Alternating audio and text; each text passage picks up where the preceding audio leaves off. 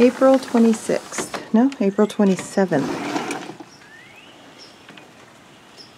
And it's snowing. Got my boots on, just took the dogs for a very quick walk.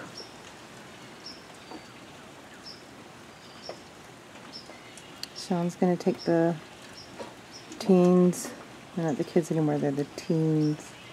The teens are going to the movies, and I'm going to stay home and bake cupcakes for James for his upcoming birthday and read a book. Because fuck this shit.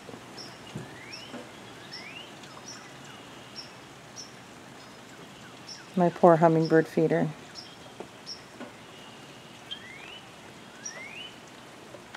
Loneliest hummingbird feeder ever.